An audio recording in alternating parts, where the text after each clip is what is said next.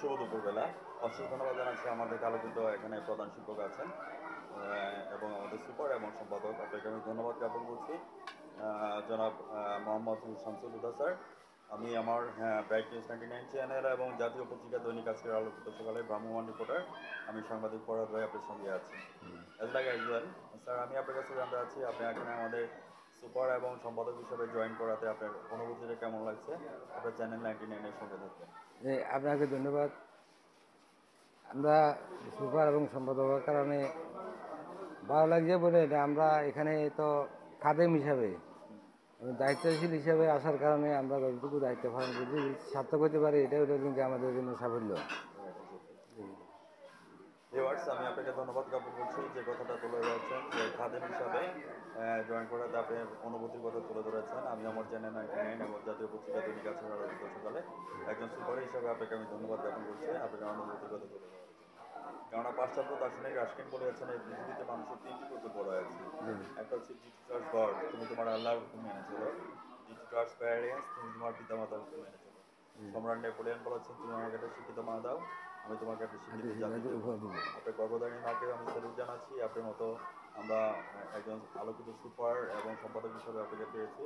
এবং রাষ্ট্রীয় তার তৃতীয় নম্বর উক্তির মধ্যে বলেছেন ডিউটি টুয়ার্ডস ম্যানকাইন্ড অর্থাৎ মানব সেবা একটি মহত্ব যেটা আপনি খাদেম হিসাবে তুলে ধরেছেন। অতএব সেবামূলক প্রতিষ্ঠানে আপনি সেবার কাজ করে যাচ্ছেন আমি স্যার আপনার কাছে জানতে চাচ্ছি একজন শিক্ষার্থী ভালো রেজাল্ট করতে গেলে একজন শিক্ষার্থী টিচার এবং প্যারেন্টসের কী ধরনের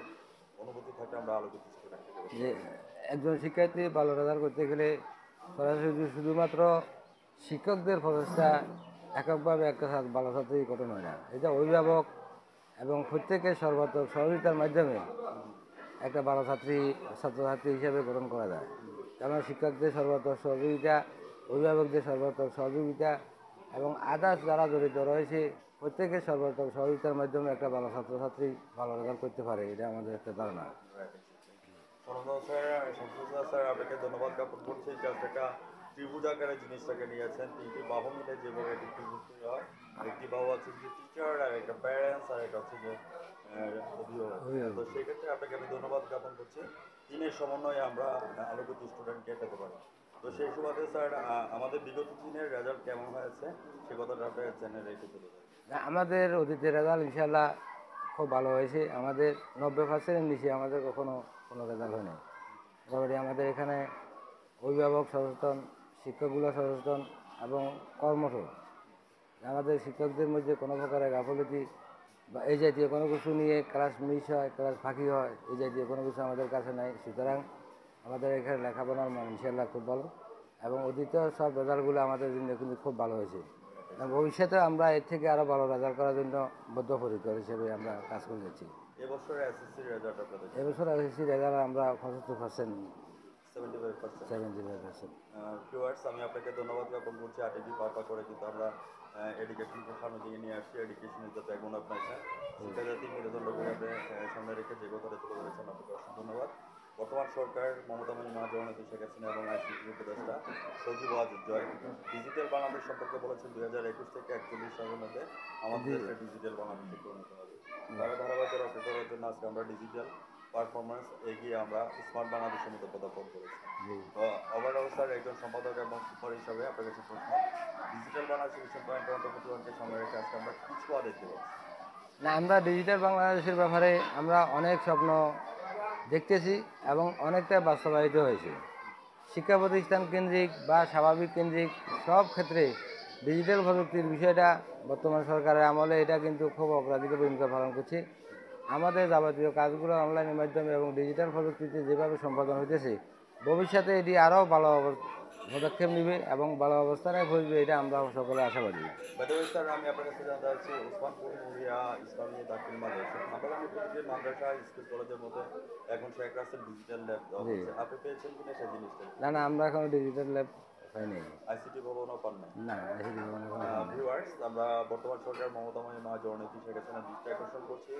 আজকে যদি আমরা প্রত্যেকটি স্কুল কলেজের মধ্যে যদি আজকে আইসিটি ভবন পেয়ে থাকি তাহলে আমাদের ইসলামপুর নুরিয়া ইসলামী দাখিল মাদ্রাসার মধ্যে যে আইসিটি ভবন এবং আহ, শেখ হাসান ডিজিটাল ল্যাব এখনও পাওয়া হয় নাই। হাজার বছরের শ্রেষ্ঠ বাঙালি বাঙালি শিক্ষা বাস্তবায়িত করার জন্য আজকে প্রতিবন্ধী ভাতা বিধবা ভাতা বয়স্ক ভাতা মাতৃকালীন ভাতা পিআর দেওয়া আছে সেই সুযোগে আমরা যাতে আমরা শেখ হাসান ডিজিটাল ল্যাব আমরা ইসলামিয়া নুরিয়া ইসলামা দাখিল মাদ্রাসায় দিতে পারি সেক্ষেত্রে আমাদের সজীব আজিজ জয় এবং ডক্টর দীপমণি ম্যাডাম শিক্ষামন্ত্রী ওনার দৃষ্টি আকর্ষণ করছে এবং দৃষ্টি আকর্ষণ করছে যে অতি শীঘ্রই যাতে আপনাদের আপনাকে তুলে দিতে পারি অবশ্যই ইনশাল্লাহ দেবো। হ্যাঁ এবং তারে রক্ষা করার জন্য দুই হাজার একুশ স্যার ডিজিটাল বাংলাদেশ আজকে আমরা স্মার্ট বাংলাদেশের মধ্যে পদক্ষেপ করেছি। আবার দুই হাজার একুশ থেকে তিরিশ সালের মধ্যে বলেছেন এসডিজি গোল অর্থাৎ সাস্টেনেবল ডেভেলপমেন্ট গোল এই সাস্টেনেবল ডেভেলপমেন্ট গোলের মধ্যে বলেছেন মাদক ইফটিজিং বাল্য বিবাহ এটাকে জিরো টলারেন্স নিয়ে আসা যায়। সেক্ষেত্রে স্যার দেবেন কেন আমরা তো ইফটিজিং মাদক মাদক মাদকাসক্ত আর বাল্য বিবাহ এই বিষয়কে নিয়ে আমরা কিন্তু খুব সচেতন। যে আমাদের কোনো ছাত্রী দশম শ্রেণীতে বা পরীক্ষার আগে কারও যদি বিয়ে শাদী একসময় যদি হইতো কিন্তু এই মুহূর্তে এদের কোনো বাল্য বিবাহের ব্যাপারে আমাদের কোনো একমত নাই এবং কোনো কেউ যদি বাল্য বিবাহের ব্যাপারে আমাদের কাছে জানায়, আমরা সাথে সাথে এটার উপর সরাসরি একটা ব্যাটো দিই হ্যাঁ সরাসরি ব্যাটো দিয়ে বাল্য বিবাহ হোক, এটা আমরা চাই না। এবং আমাদের ছাত্রীদের মধ্যে এই জাতীয় কোনো বাল্য বিবাহের প্রচলনও নাই।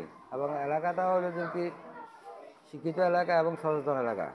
এখানে কিন্তু বাল্য বিবাহ অন্য অন্য এলাকাতে হয়তো যেভাবে বাল্য বিবাহ হয়, এই এলাকাতে এইভাবে বাল্য বিবাহ হয় না। কারণ আমরা ডেভেলপ এরিয়া তো তো শিক্ষা দীক্ষায় ডেভেলপ ফাইন্যান্সিয়ালভাবে ডেভেলপ সর্বদিকে ডেভেলপ হওয়ার কারণে বাল্য ব্যাপারে অভিভাবকও একমত নয়, আমরা তো একমত নয়।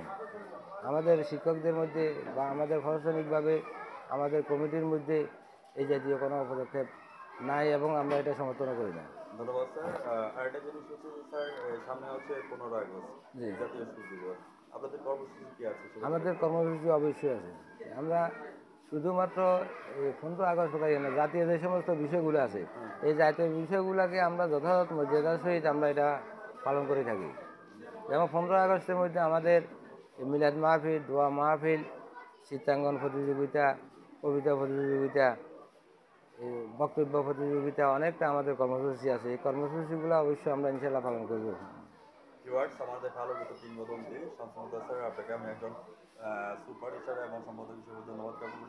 যারা আমার আমাদের চ্যানেল থেকে দেখে নেন। নাইনটি নাইন চ্যানেলের সঙ্গে থাকেন এবং জাতীয় পত্রিকা দৈনিক আজকের আলোকিত সকাল থেকে আমি ব্রাহ্মণ রিপোর্টার সাংবাদিক পড়াশোনায় বিদায় রেখে টানছি স্যার আপনি দীর্ঘ জীবন কামনা করে আমি বিদায় রেখে টানছি ভালো থাকেন। ধন্যবাদ। ধন্যবাদ আপনাকে ধন্যবাদ।